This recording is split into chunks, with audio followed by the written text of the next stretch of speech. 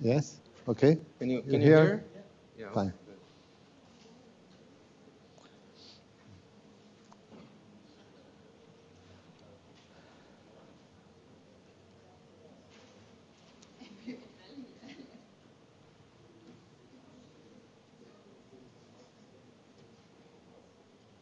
Okay, so uh, good afternoon. Um, let's start the uh, series, this, this colloquium of the series of uh, ICTP SAIFR and IFT UNESP uh, colloquia series. So usually, as you know, we uh, take advantage of events that are happening here to invite uh, prominent lecturers to give a talk to the general uh, IFT community. And s- so today we're very pleased to have uh, Professor Michel Brune. Uh, so uh, uh, Michel, and he did his PhD uh, in 1988 with uh, Serge Haroche in uh, Autonomous Superior, I guess. And, uh, and, uh, and since 2003, he's a senior scientist, uh, directeur de recherche à CNRS at the Laboratoire, Laboratoire Cas- Kastler Brossel. You have to correct me. if I'm no, no, it's okay. And uh, he's also co-director of the Cavity QED team, the CQED team. And he has won several awards, among them the uh, Prize of the French Academy of Sciences in 1998. And in 2017, he got the uh, Prix des Trois Physiciens. physiciens. Mhm. And I never heard of this uh, Prix de, the prize of the three physicists. so I went to look it up, and uh, it's actually it's a prize. Maybe we're going to talk about this, but it's a prize that was named after three directors, consecutive directors of laboratories in the Normale Supérieure, who were uh, murdered in the Second World War. So it's really uh, a prestigious prize. So today, uh, Professor Brune is going to talk about controlling quantum states with circular Rydberg patterns. Okay. So the talk, thank you uh, for the introduction and thank you for the invitation uh, for giving this colloquium at this very, uh, very nice, very prestigious institute. Thanks. So the topic of my talk about uh, will be about the uh, development of new experimental method for performing well-controlled manipulation of quantum systems. And indeed, and indeed, this topic sits in the, in the context of the very fast development, uh, the present development of quantum uh, technologies, which relies on the development of very many different platforms with a very high degree of control of the quantum states of single particles and then of many uh, and many uh, more particles. So let me just mention a few examples of such uh, platforms. Uh, I would like to start with the trapped ion platforms, which maybe was one of the earliest to get the very high uh, degree of control uh, we know today, where single ions have the internal state manipulated by lasers in order to create entanglement in the ion chain and to perform quantum information operation. Then uh, the atomic system, neutral atoms are also of very great uh, interest uh, in this uh, topic of controlled manipulation of quantum system and of quantum simulation. And nowadays, uh, cold atom physicists are able to uh, fabricate artificial lattices, which is kind of artificial matter with exactly one atom per site, and they can perform very nice quantum simulation with that. Another uh, nice control platform consists in uh, putting atom in cavities, so that's the field of cavity QED. So I will tell you more about this field later, but I would like to mention that I am interested in microwave and Rydberg atom cavity QED, but there are many very important and interesting things in optical cavity QED, where the field i- i- i- is uh, an optical field stored between very high Q optical mirrors, and where uh, people uh, can manipulate the quantum state of the field, which leaks out of the cavity at a very uh, high uh, degree of control. Then polar molecules are where are very promising when uh, trapped uh, in optical lattices. And then the last category on this side corresponds to solid state devices. So not only single atoms, single ions, or single photon can be manipulated with a very high degree of control, but for example, in the field of spintronics, the spin of single electron can be controlled in some mm, nano uh, circuits involving nano electrodes, allowing to manipulate uh, the spin of single electrons. Another very promising platform for uh, uh, developing quantum information manipulation is, of course, the circuit QED uh, domain, in which atoms are indeed artificial atoms made of small superconducting circuits whose quantum state can be controlled very much, uh, especially by using cavity QED techniques, by coupling these superconducting qubits with superconducting uh, microwave waveguide and resonators. And uh, this field is a very uh, important field and very fast developing field uh, in the community of uh, quantum information and quantum technology. And of course, I can, it's maybe not a, a surprise for you, the last system which will be uh, of interest for me and I will focus on uh, in the next part of the lecture is the Rydberg atom system on which uh, we acquired uh, some experience in the last year. So before going into what we uh, presently do with the Rydberg atom, let me mention uh, the context of many other experiments with Rydberg atoms. So the physics of Rydberg atoms uh, became a very active field uh, in the last uh, 10 years, I, would say, in, various different contexts. For example, in quantum optics, many experiments now manage to manipulate the quantum state of light by using dipole interaction uh, between the Rydberg atom and the so-called dipole blockade phenomena, which manifests as strong nonlinearities for manipulating uh, the, the, the, field statistics by using uh, EIT, uh, electromagnetic-induced transparency techniques. Then another very active field is the field of quantum simulation. And here I mentioned two of the experiments belonging to this field. So in uh, uh, both of these experiments, the basic is the high degree of control of ultra-cold atoms. Not yet Rydberg atoms, but ground state atoms. And in both of these experiments, the Rydberg interaction is controlled by starting by, with ground state atoms with very well-defined position in optical traps. So in the experiment of Munich by the group of Immanuel Bloch, the atom can be prepared in lattices with exactly one atom per site using uh, Mott insulator techniques, and then starting from this very well-controlled uh, initial sample of atom, they can switch on interaction by doing what we call Rydberg dressing of the Rydberg atoms, of the ground state atoms, which basically consists in having some non-resonant laser coupling slightly the ground state level to the Rydberg level, adding a, a, a little bit of mixing of the Rydberg wave function into uh, the ground state atom, making them interact more strongly as compared to the interaction between two ground state atoms, which is very, very weak. So the other way to use the, the, the, the Rydberg atom is the one used in the team of Antoine Browaeys or Misha Lukin in uh, Paris-Saclay or in, uh, in Harvard, where basically they use optical tweezers to trap deterministically and to create deterministically a very well-controlled lattice of ground state atoms where they constructed in a different way as compared to Immanuel Bloch experiment, where the distance here is constrained by the half the wavelength, the size of the lattice. Here, the tweezers can be adjusted at will and are very flexible for preparing different lattices with different shapes, with different uh, lattices spacing.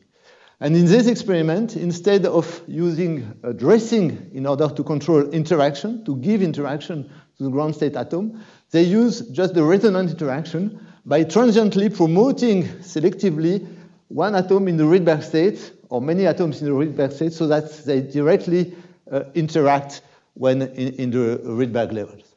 So that's uh, three examples uh, of use uh, of uh, Rydberg atom interactions in the context of quantum information manipulation. And uh, now I will focus on Uh, uh, uh, another type of system, which is the one we developed in our group at the École Normale Supérieure together with Serge Haroche and Jean-Michel Raimond, which is the cavity QED setup made of a high Q superconducting cavity, which is used as a trap for photons, which interacts with some very well-controlled atoms, which are so-called circular Rydberg atoms. So I don't want to tell you everything about the story of the interaction. Yes? Tell us what Rydberg atoms are and Rydberg levels. Okay, so it, it will be the next slide, but I can anticipate. So the Rydberg atoms uh, are uh, very highly excited uh, uh, bounded level of atoms. So if you look at the hydrogen atom, you have somewhere the ionization limit. You are the uh, deep level and the uh, ground state atom, let's say 1s for hydrogen, and then you, you have a, a series of levels which becomes closer and closer as you get close to the ionization limit. So these levels are defined by a, a principal quantum number n, and the binding energy is like 1 over n squared. That's the uh, rule for the energy spacing between the, the level. So usually what we call Rydberg atoms here, that these heterogeneous level which are close to the ionization limit. And in our case, the principal quantum number would be like 50. And I will explain why it's nice tools uh, for experiment uh, in, one slide from now. So let me just mention the, the, kind of thing we managed to perform uh, uh, with this system together uh, with Serge Haroche and, and Jean-Michel Raimond. So we built an experiment in which uh, a superconducting cavity made of superconducting mirror uh, behave as a very, very good trap for trapping photons. And the superconductor can be so good that the lifetime of a photon can be larger than one tenth of a second. So time scales, and you can even feel at the uh, human uh, scale.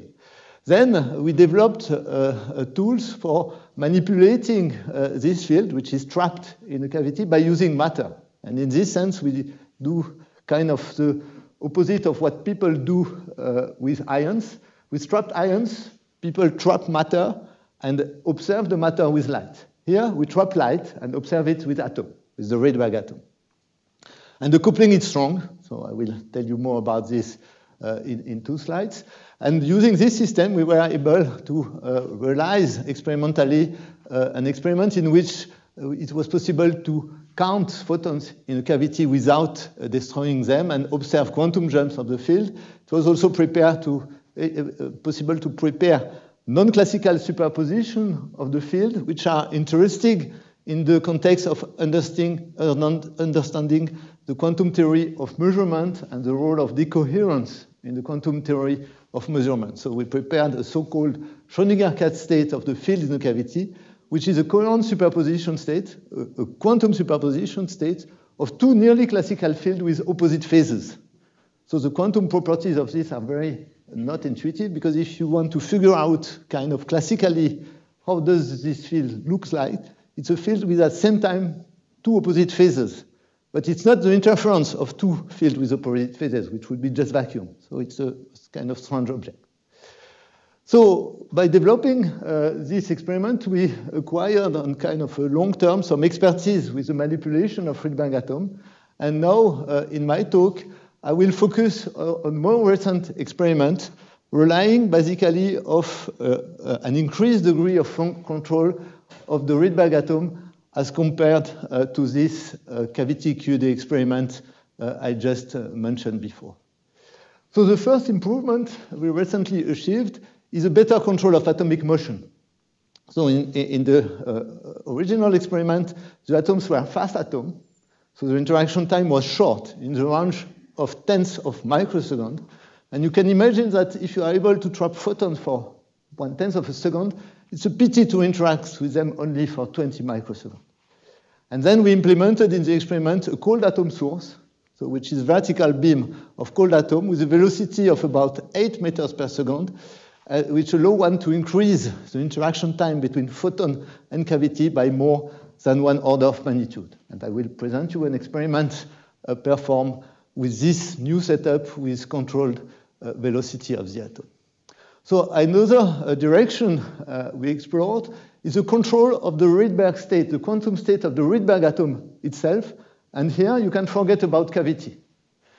So what, is there? Uh, what, what is interesting there? Well, if you have uh, one Rydberg level here with a given uh, value of the principal quantum number, indeed, if you zoom in, this level is strongly degenerate. You have like n square levels for principal quantum level n, which is a large number of levels. And then if you apply to the atom some electric field, you have a very regular structure. This is the Stark diagram, the position of energy level of rubidium atoms with principal quantum number n equal 52. So this energy structure can be manipulated in a very nice way by, uh, for, for navigating in this structure and preparing either circular Rydberg atoms, which are the one with maximum value of the magnetic quantum number. So the horizontal axis here is the magnetic quantum number, vertical axis is the energy. You have two circular atoms with plus m and minus m, and m equals n minus 1. And the elliptical level, which uh, are represented here just like uh, it was uh, planetary atoms. So these levels have low angular momentum and correspond in the classical limit to orbit with a large uh, ellipticity. And what we uh, uh, showed is that by applying to this system some radio frequency at resonance with all the smooth transition with well-controlled polarization, we can really engineer the quantum state of the Rydberg atom, prepare Schrödinger-cats states superposition of two very different orbits, which are very efficient sensor for electric or magnetic field. So I will uh, tell you more about that uh, in the main part of the talk. Sorry, what, yes. what atom do you use? Rubidium.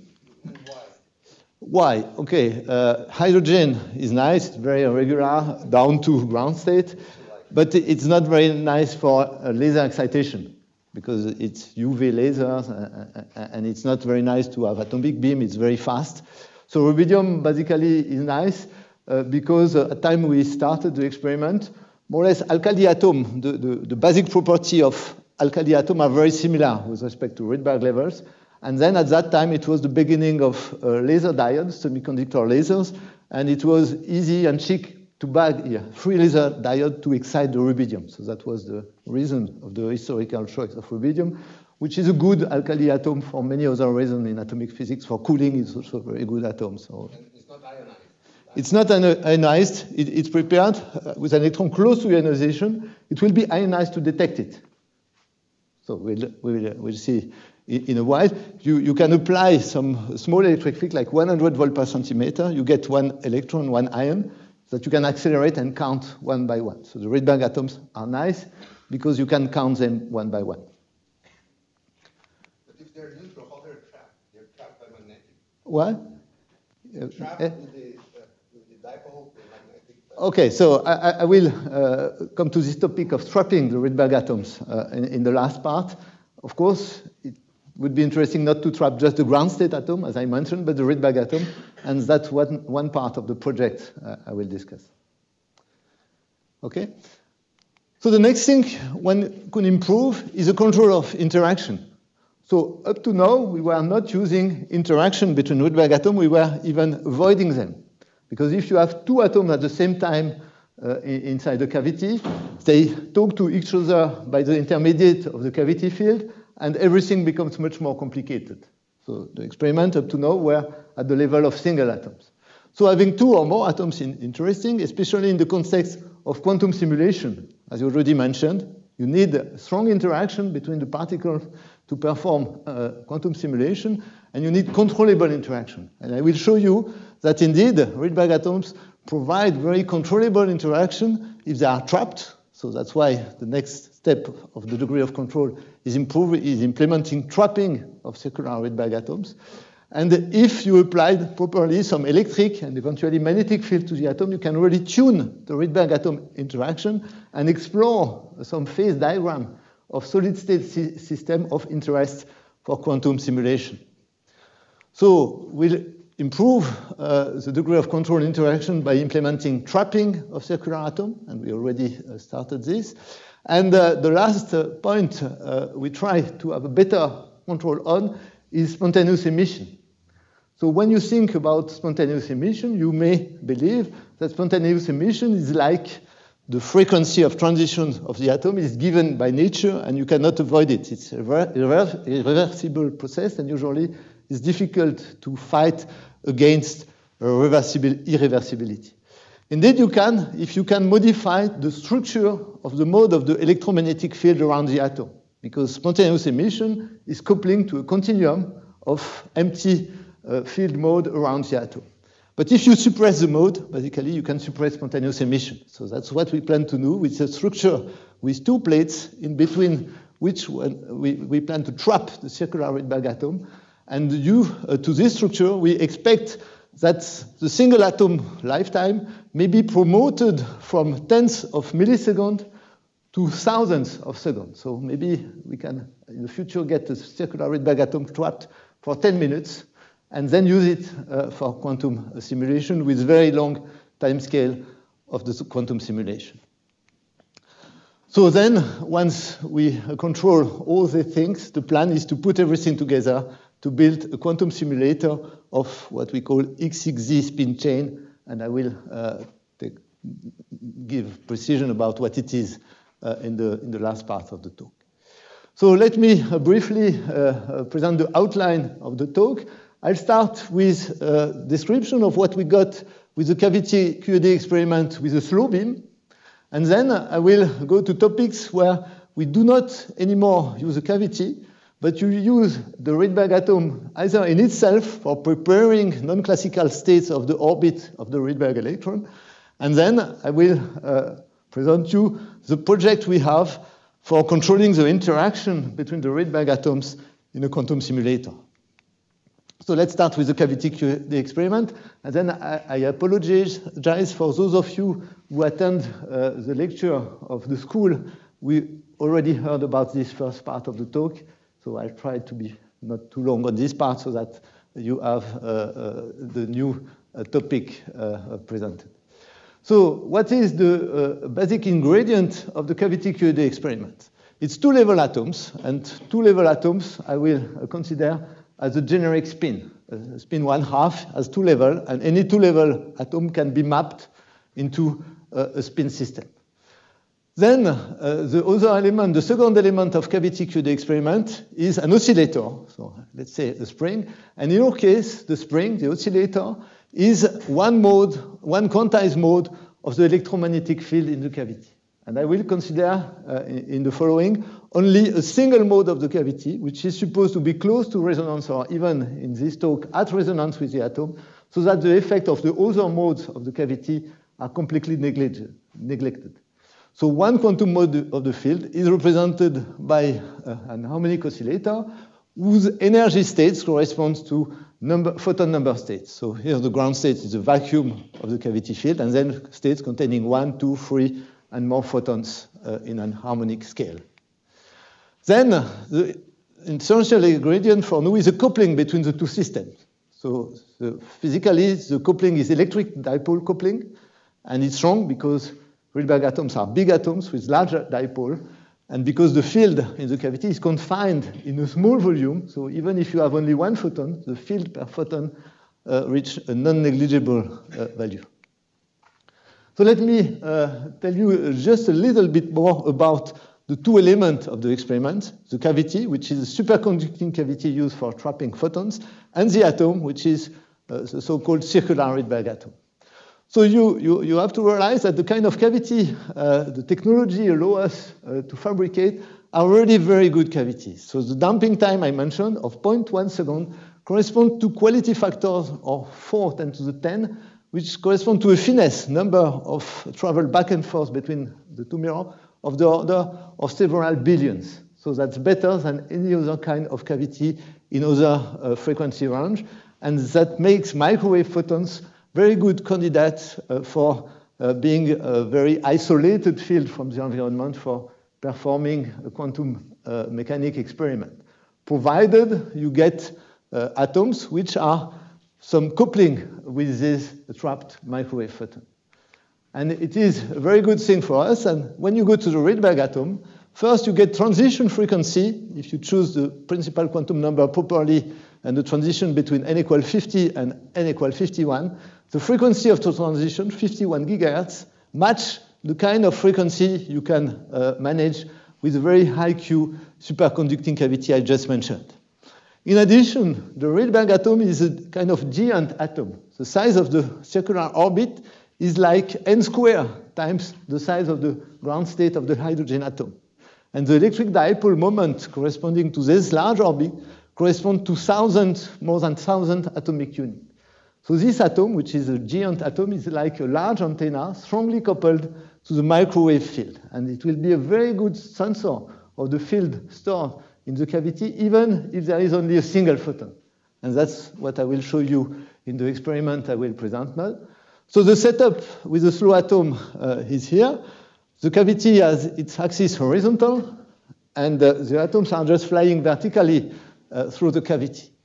The atoms are prepared so by laser cooling technique, and then they uh, are promoted in the Rydberg state at the center of the cavity, which is kind of challenging. Preparing the circular Rydberg atoms at center of cavity uh, is difficult because in the old days we needed some magnetic field to prepare the circular atom.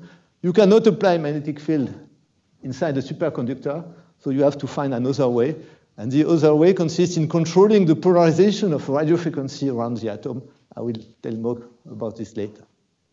So with this experiment, the cavity damping time, we have to fabricate a new cavity. It was not as good as the best one, but good enough for what I present today.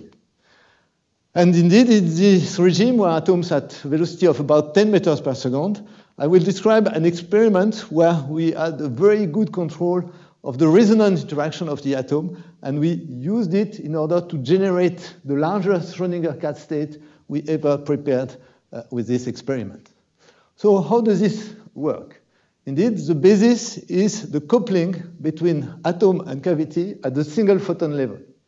So if you look at the quantum mechanical system, you have a, a, a, coupling between two quantum states which are degenerate at, at, resonance, which correspond to one atom excited and vacuum in the cavity, and one atom in ground state, the lower state of the transition resonant to the cavity, and one photon in the cavity.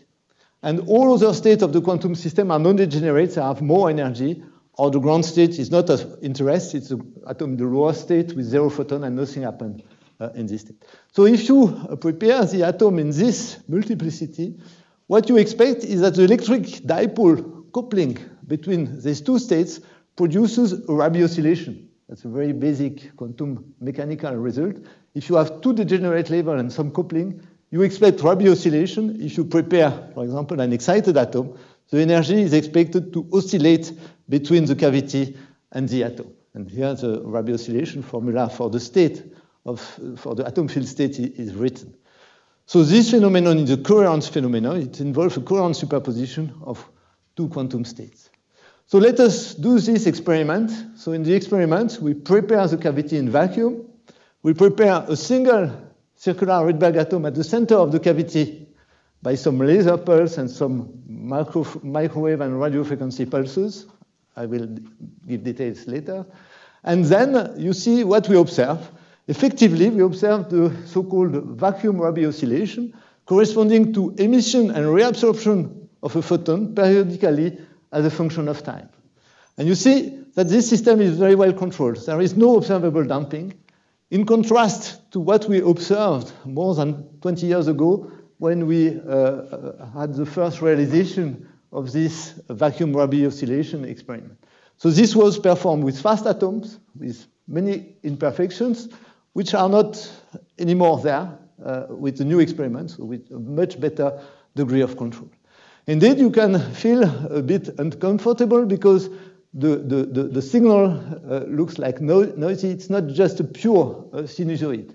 And you are right, it is not a pure sinusoid because the cavity is not at absolute zero temperature, and there is a residual probability of having one photon in the experiment. And indeed, what you see here is a bit knot between vacuum in 90% of the case and one photon field in 10% of the case, which gives the, the red curve, if you do the theory, which fits perfectly uh, with the experimental data. So it's interesting to go into the more complex situation where you put some field inside the cavity before starting the Rabi oscillation. And indeed, the story is very similar. If you start an excited atom interacting with a cavity containing n photons, at resonance, this state, this level is degenerate with a single state, the atom in the lower state, and one more photon in the cavity. And again, you expect Rabi oscillation with S2 state, but at a frequency which is faster. Why is it faster? because the dipole is the same, but the electric field is larger. You have some energy in the cavity, and the electric field, the energy is the square of the electric field. So the electric field is the square root of the photon number, plus one, because even if vacuum, in vacuum, the excited atom emits. And then what occurs is a Rabi oscillation at this frequency, omega naught square root of n plus one. Then, if the cavity is not in a pure state, but in a superposition state of various value of the photon number, the Rabi oscillation signal is expected to be the sum of the individual Rabi oscillation signal in a field containing exactly n photons. So that's uh, a simple result, and uh, this leads indeed to very interesting physics. So here is again the Rabi oscillation signal, observed not with the cavity in the vacuum, but with the cavity containing initially a coherent field with on average 13 photons. So it's not uh, completely uh, microscopic, it's not a single photon field, it's already a kind of mesoscopic object with 13 photons in the cavity, which is good enough to define the phase and the classical amplitude uh, of, of this state. So what you observe is a collapse of the Rabi oscillation at a very fast time scale and a revival. So why does this occur? Indeed, as I told you, the Rabi oscillation is now a superposition of many different frequencies. But the important point is that the, the, the, frequencies involved in the evolution are discrete frequencies in finite number. So after some time, the, uh, all the uh, frequencies in these spectrums became again in phase, and you accept a revival of the Rabi oscillation. So you can calculate the revival time because you know all these frequency, and the time needed so that all components becomes again in phase is of the order of the vacuum Rabi period, T naught, multiplied by the square root of the average photon number. Which means that for large photon number, in the classical limit, the revival becomes later and later, and indeed this quantum feature uh, disappears uh, in the classical limit. The other feature, the collapse of this is the same phenomena. It's not that all components becomes in phase, but they just become very fast out of phase because they have different frequency. And this leads uh, to the collapse of the Rabi oscillation.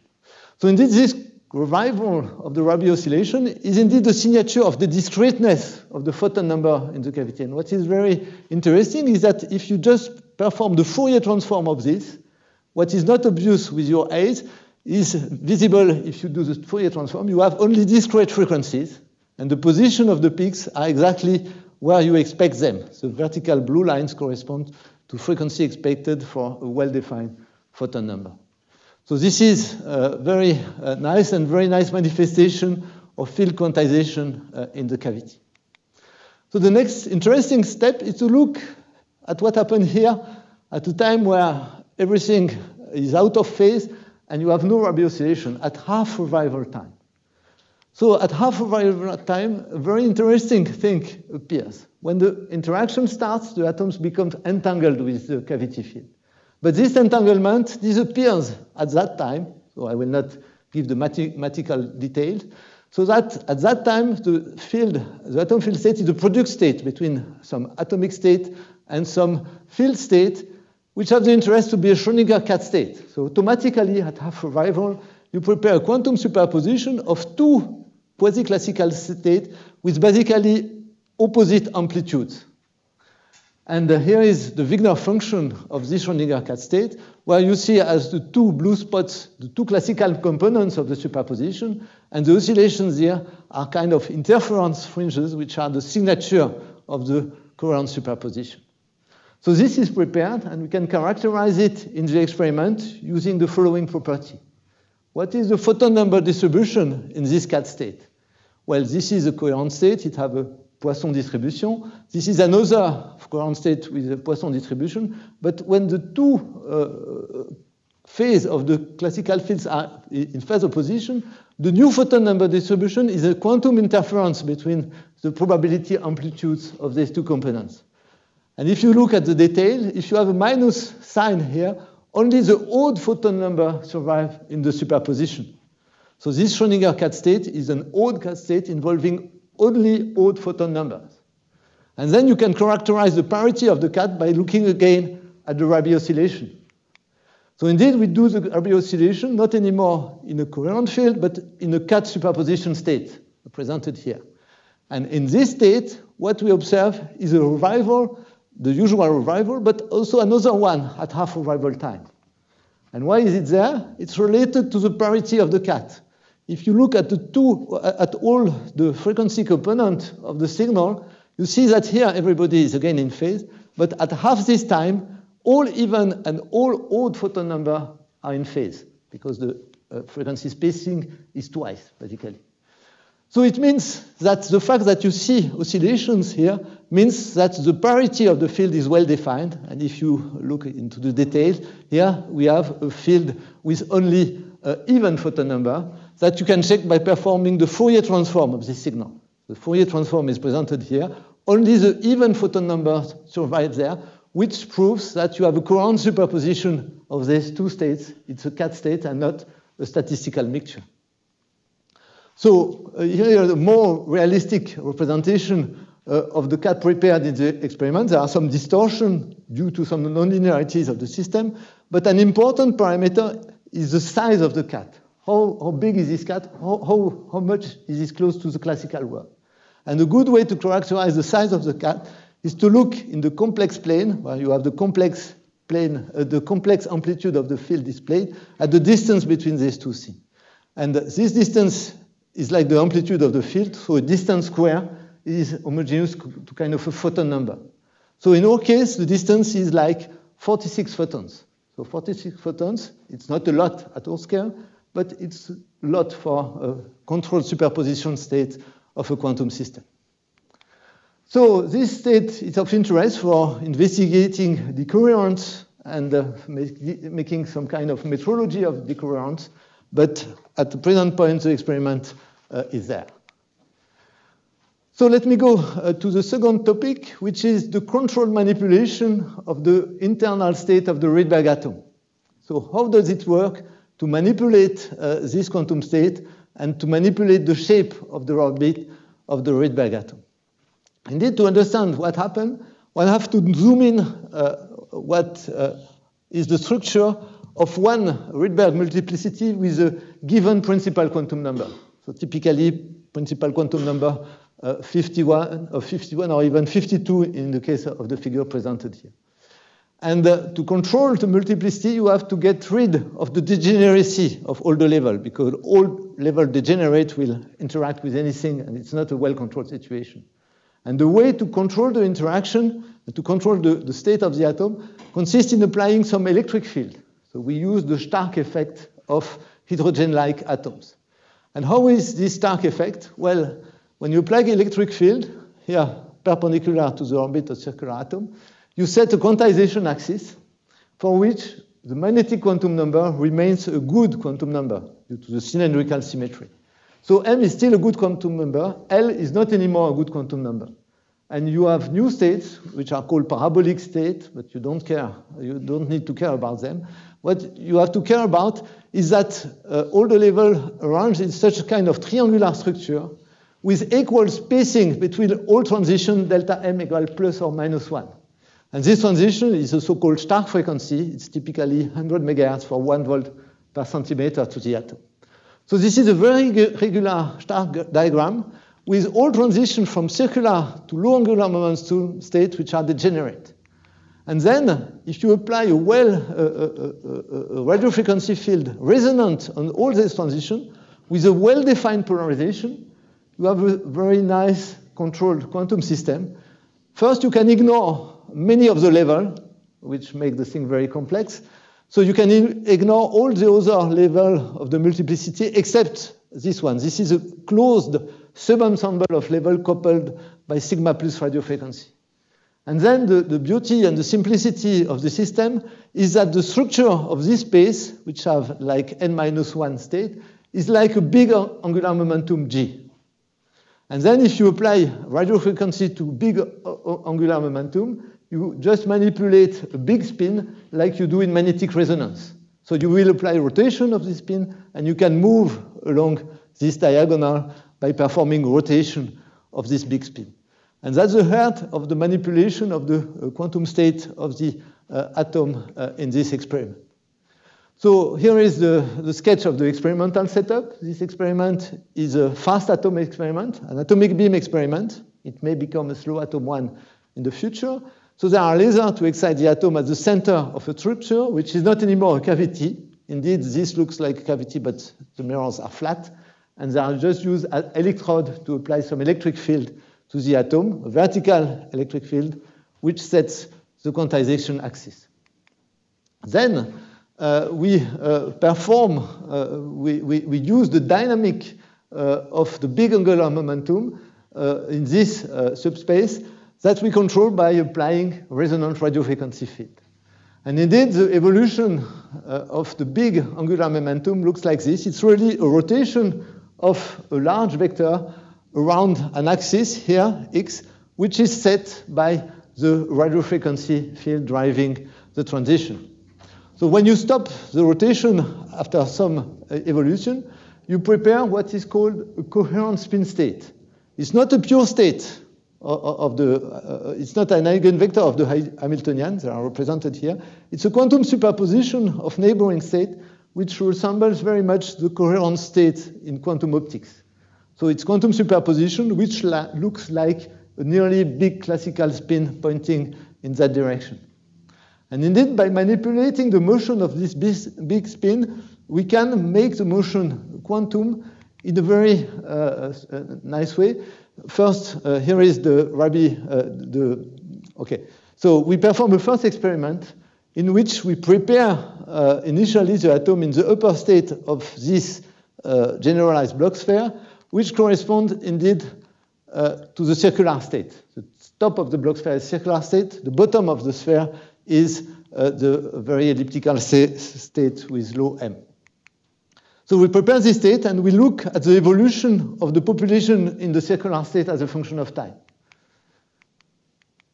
And what you observe is this. So as a function of time, the peaks corresponds to the time where uh, you reach the circular state uh, in the evolution. And you see that you reach it periodically. And uh, you have a very coherent evolution. You see like more than 20 uh, oscillations uh, of the system. So that's a very well-controlled system, and uh, the, the, system really behaves large, large, like a large angular momentum, which is modulated, manipulated with a radio frequency field. So we can do better by adding some, uh, some knob for controlling uh, this motion and making, the, making, the, making it a quantum. And the idea is to use uh, so-called the quantum Zeno effects, a generalized version of the quantum Zeno effects, which leads to quantum Zeno dynamics. So usually the quantum Zeno effects consist in preparing uh, a quantum state in a state and measuring it uh, in, with an observable uh, for which the initial state is an eigenvector. And then you reproject uh, uh, very efficiently the system on its initial state and you freeze its evolution. Here, instead of projecting on the initial state, we will project in, in a larger state by uh, having a measurement which divides the Hilbert space in subspaces, which means that inside a subspace, the measurement is ambiguous, and eventually some evolution can occur. So the quantum Zeno dynamic consists in uh, applying some measurements which set borders in the Hilbert space. And then the very classical dynamic, and in your case it's the rotation of the spin, can become quantum. In the same way as depicted on this picture, if you have a cat just walking between two walls, classically the cat would just stop when you reach the walk, wall or eventually try to jump over the wall. But in the quantum world, where you have a measurement of position which plays a role of a wall, the cat will disappear here and reappear on the other side. And that's what occurs with the big spin when we put some wall around the classical dynamics. And the way to put a hole consists in performing a measurement or virtual measurement of one of the quantum state of the ladder corresponding to the large angular momentum. And indeed, if you look at the Stark spectrum, if you apply some microwave resonance on the transition between the two fourth levels, the fifth levels uh, of the multiplicity, this microwave is resonant there, but due to the linear Stark effect, is non-resonant on the other state. So it allows you, in principle, by looking whether the atom goes from here to here, to measure whether k, k equal 4 is reached. So indeed, we, we do the experiment. We start again the rotation of the spin, but we put a wall which should stop the evolution when the vector reaches this level. And what, what, what occurs? What occurs is represented in this movie. When the field state reaches the wall, like the cat, it does not just stop, but, uh, I'm sorry.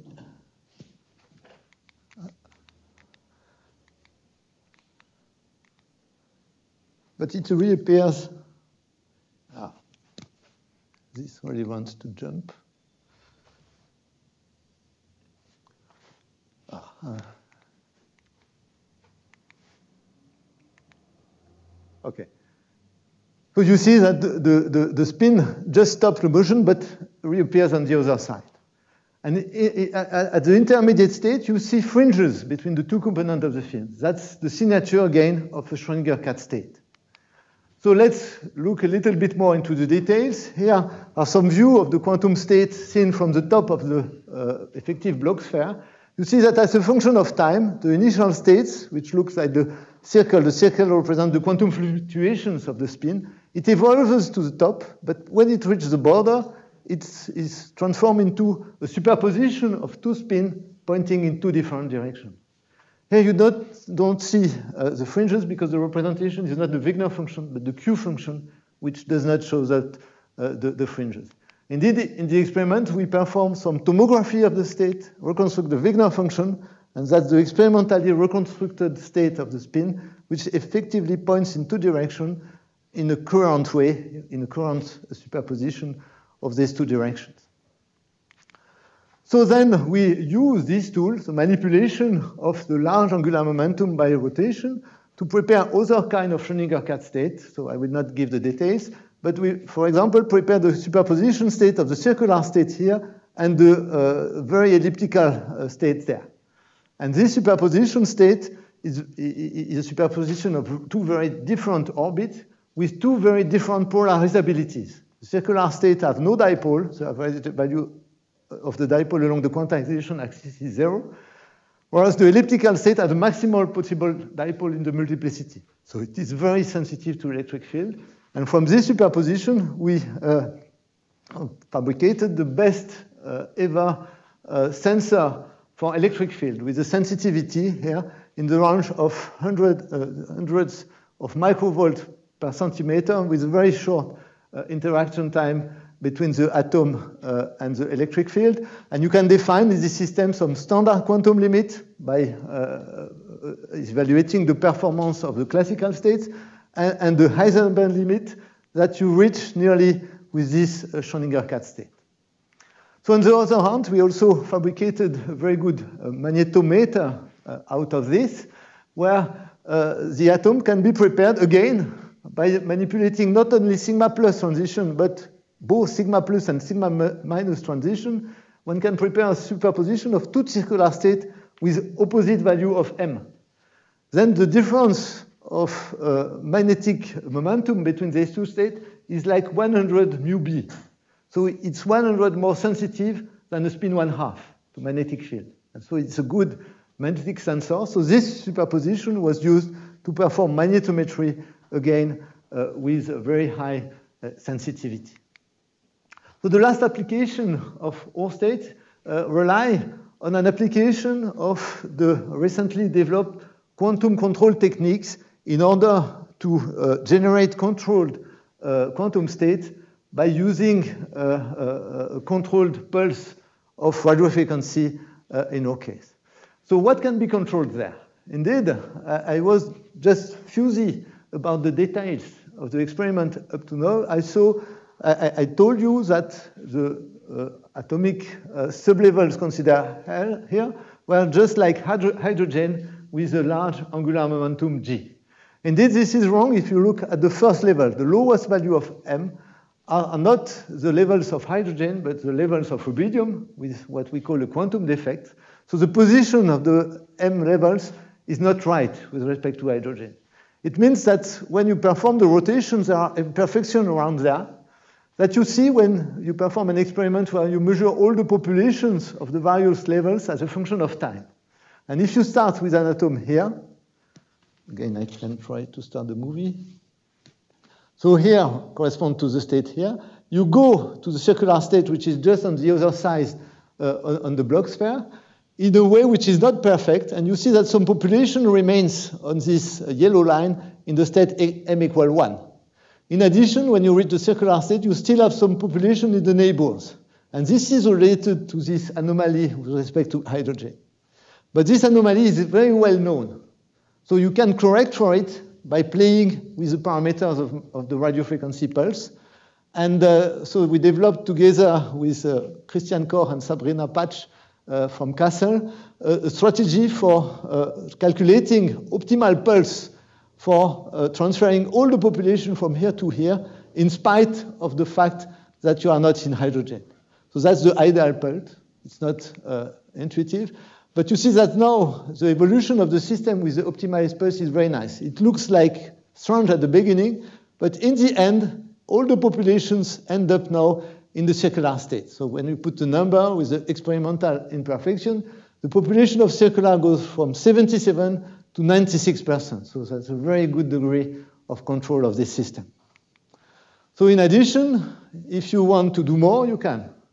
So you can even prepare a quantum superposition of the two extremal state of the ladder by using uh, this single pulse technique. In the experiment I discussed before, it was not such a control, and we have to stop the evolution before reaching the pathologic states. Here, the pulse is optimized to prepare the quantum superposition of elliptical 52 and m equal 1, and it works very well. This circle is the m equal 1 component, and the circular state is the other component.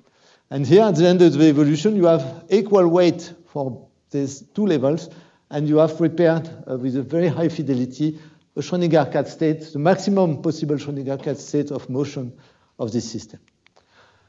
So indeed now uh, I was expecting to present you uh, the quantum simulator later project, but I think I was too ambition, uh, ambitious with the timing. So I will talk about that for the people uh, from the school, but I think it's better uh, that I stop here uh, for the talk and go just directly to the conclusion as a kind of appetizer of what I did not have time to tell you. So uh, the idea is that by controlling uh, the transfer from low angular momentum to high angular momentum Rydberg atom, we expect to be able to prepare deterministically single Rydberg atom for from single ground state atom trapped in optical tweezers, and then uh, to place them in some spontaneous emission inhibition structure so that in the end we can have a chain of about maybe 50 atoms in a linear configuration, which could be generalized uh, to higher dimension, of trapped circular Rydberg atoms whose lifetime should be larger than one minute for each atom, which means that for 50 atoms, we expect a lifetime of like one second before you lose one of the atoms of the chain. And this opens the perspective to perform quantum simulation at the time scale, which is like 10 to the 4 or 10 to the 5 times the elementary time scale of the uh, simulator, which is basically uh, characterized by the coupling strength between two neighboring atoms, which is in the range of tens of kilohertz or hundreds of kilohertz. And indeed, that's very different for all other quantum simulators uh, developed up to now, including the Rydberg atom simulator, in the present Rydberg atom simulator, the Rydberg atoms are not trapped. They strongly repel each other due to van der Waals repulsion, and after a few microseconds, everything is gone. So the idea is to switch from microseconds to second timescale by trapping the circular Rydberg atom in an environment which inhibits spontaneous emission. So we will see if this works. And uh, so now uh, let me conclude by mentioning uh, the people of the group. Of course, all this work is, is a collaboration between uh, many people. And uh, so I thank uh, all the people contributing to this work. And I thank you for your attention.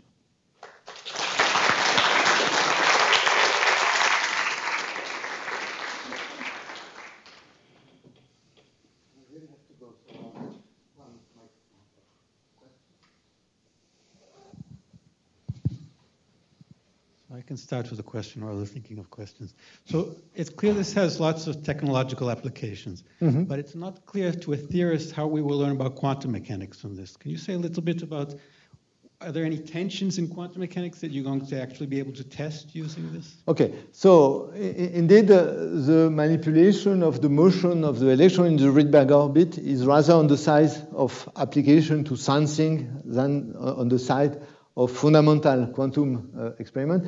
Even if we have Schrödinger cat state, uh, their decoherence uh, here uh, is less, I would say, less fundamental than the one of the cavity cat state, which is very clean because it's energy damping described by a well-defined master equation. Here it's not so clean. It's electric field noise.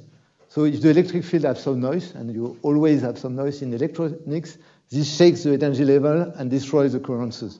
But it's not very fundamental.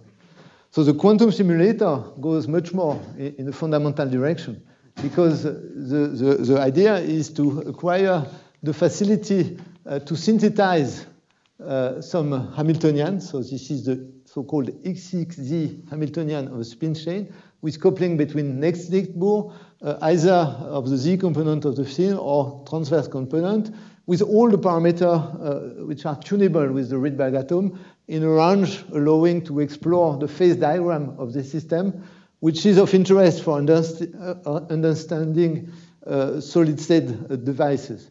For example, in 1D, the phase diagram is well known, but the dynamics of the system, the way uh, it evolves, if you do something uh, abrupt or slow, is a very interesting topic.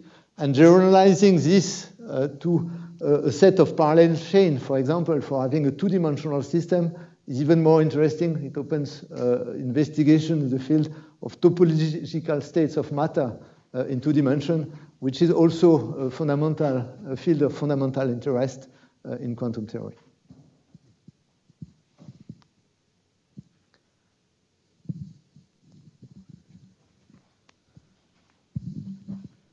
In Innsbruck, they are working now on this variational quantum computation method, this variational quantum computation. Are you familiar with that? You, you, you mean uh, The Rainer Blatt and... uh, Yes, yes, yeah, yes. yeah, yeah. Can you just do the same thing with this ma- machine? Okay, the same or different? Uh, the, the, one one difference is, I, I think uh, we may have a better control of interaction when you, you have more and more uh, particle. And the point is that here you directly, uh, the coupling is directly the, the direct dipole-dipole interaction between two neighbors. And the next neighbor interaction is kind of weak. And then by changing electric and magnetic field, you can tune this in a nice way. And uh, on the other hand, the trapping, uh, the, the, the, the way you trap the atom uh, is just uh, an external potential which frees the position of the atom. In the case of the ions, it's kind of more complex because the interaction, eventually long-range interaction, is mediated by the motion of the ion. And you have a coupling between the phonons and, the internal state of the ion, which becomes more and more tricky when you have more and more ions, because you have a big matrix coupling many uh, acoustic modes of the chain, which is uh, difficult to handle if you go uh, to more than uh, maybe 20 uh, ions. So I don't say that 20 ions is the limit, but it's tricky really to have the controlled interaction with the ion, and it becomes more and more tricky when it, we, you, you, you add ions. Here, if you add one more atoms, automatically it will interact like the other in the chain. With the ion, it's not, not so simple. And you can do your measurements faster than they can.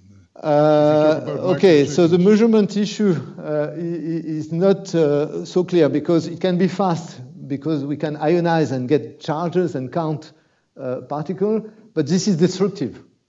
In case of ions, they make fluoresce, so it needs some time, but the ion is still there. So I, I'm not sure the balance is in favor uh, of us, except if we uh, go one step further by implementing optical detection of the Rydberg atom. So it looks like uh, a, a strange idea because basically the Rydberg atom, once promoted in the circular set, don't, do not have optical transition, but you can play some tricks. So we, we now develop an experiment with strontium so that you still can have optical transition even if the circular Rydberg atoms. And so now we have uh, very uh, first results For this experiment, we prepare a circular state of strontium. We put some light making the ion fluoresce, and we checked, for now for short time scale, that the circular atom does not auto-ionize, in contrast with the other Rydberg atoms. And we think it's a very good system for going further, not only in the direction of detecting optically the atom, but in eventually cooling uh, the Rydberg atom with lasers. And the circular atom with an active core uh, should be a very good system for that. Thank you.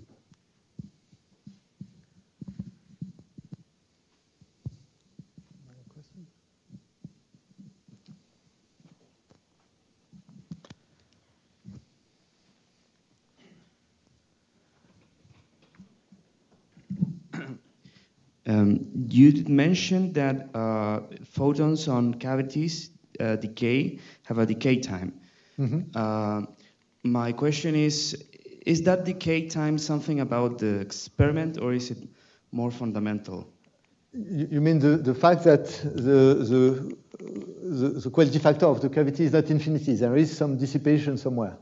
Yes. So th this dissipation uh, is of uh, is related to technological limit. It okay. has nothing nothing fundamental, but it's difficult in practice to to know which uh, limitation uh, dominates uh, the, the, the quality uh, of the mirror because when we make estimates, we have three candidates for explaining this limit of a quality factor of 4 10 to the 10.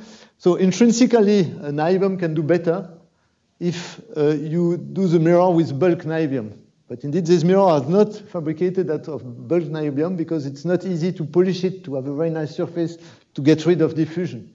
So it's niobium deposited on copper. It's not as pure as bulk niobium, and uh, we are close uh, to, to, the limit of the best uh, coating uh, in this uh, frequency range, but within a factor of few, it's not, it, it's not the case. Then you can estimate the, the residual roughness of the mirror.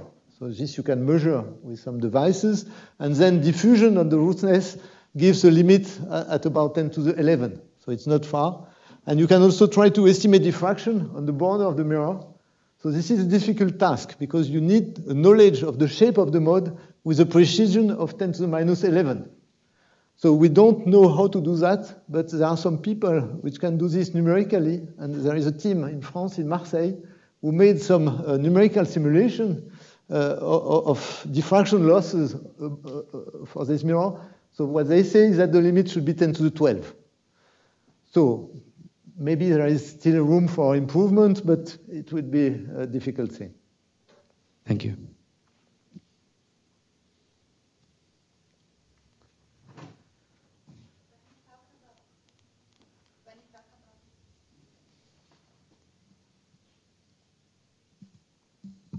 When you talk about uh, quantum Zeno effect, mm-hmm. what do you use to be the observable?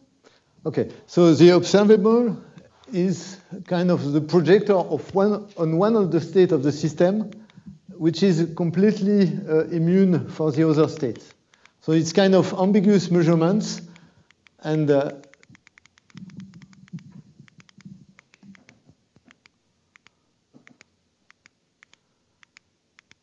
So the, the, measurement is represented here. You need to have an observable which have some discrete eigenvector and they generate a, subspace of the Hilbert space. And here, if you switch a measurement corresponding to this transition, basically, if, if the other are completely non-resonance, this microwave does not anything to all of Z level. So all of Z level are kind of degenerate eigenvector of this measurement, where basically when you switch this on, this remains in this space. The same for the other levels here. And so that's a measurement which divide the, the, the Hilbert space in three uh, sets of levels. The level which is a resonance, that's the measure state, and the, the, the subspace of the other levels. And what is interesting is that the subspace of other level is divided into two parts, two halves, which does not talk each other. Basically, when you have some dynamic, you are not allowed to cross the border and to go to the, to the rest of the world. And this makes the classical dynamic quantum. Okay? So another important remark is that eventually you don't even need to measure actually the state because I don't need the measurement result.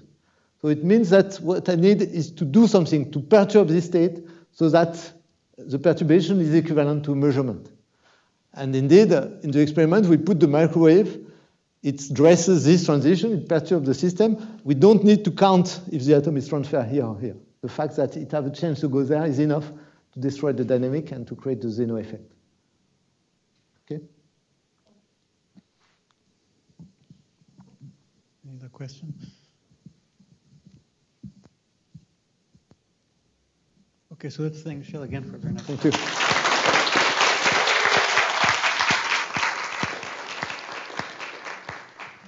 So there should be food upstairs if people are. Yeah. I have a simple question to you. Yes, I, I am. Uh, when you are talking about exciting the atom